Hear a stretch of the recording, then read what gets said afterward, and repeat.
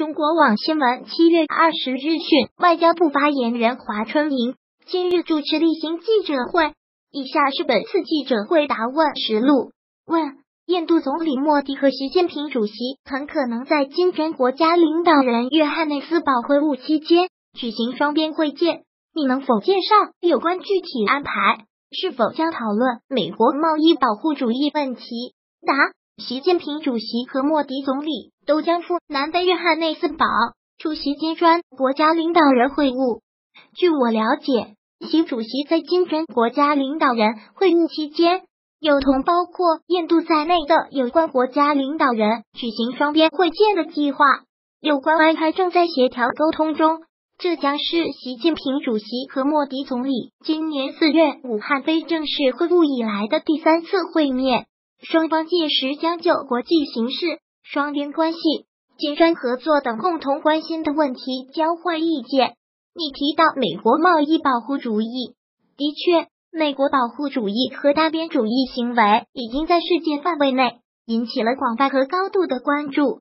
中国和印度都支持多边主义，支持构建开放型世界经济，反对保护主义。两国在这方面有着高度的共识和共同的利益。事实上。这也是金砖国家成员的普遍共识。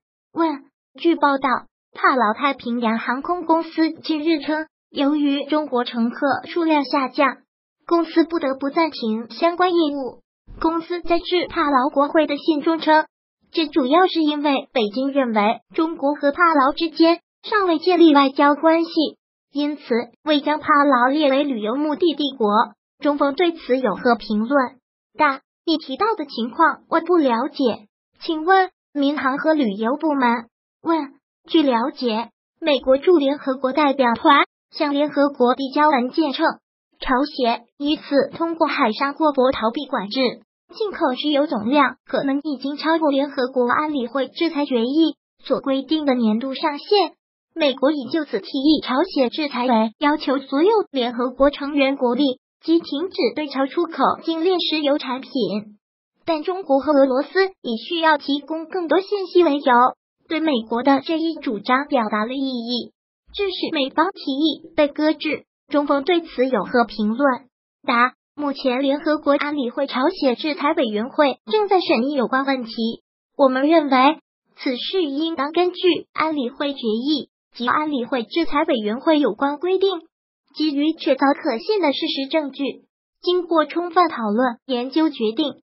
问：据报道，美国白宫国家贸易委员会主任纳瓦罗称，当前中国与世界上其他国家在贸易问题上陷入了零和博弈，美国需要和其他国家共同合作应对。中方对此有何评论？答：近期美方官员发表了不少颠倒黑白的荒谬言论。我理解他们也许有安抚国内那些对美国发动贸易战表示不安和反对的人们的需要，但鉴于内瓦罗先生在美国贸易政策中的重要地位，为防止其错误言论误导更多人，我还是有必要有针对性地回应几句。首先，摒弃冷战思维，不搞唯我独尊、你输我赢的零和博弈，是中方直以来大力倡导和大声呼吁的。推动构建人类命运共同体，已经先后写入中国共产党章程和中华人民共和国宪法，推动建设相互尊重、公平正义、合作共赢的新型国际关系，推动构建人类命运共同体，是中国外交追求的总目标。我们秉持义利相兼、以义为先的正确业力观和真实倾城理念，与发展中国家团结合作。始终做发展中国家的可靠朋友和真诚伙伴，得到发展中国家的高度赞赏。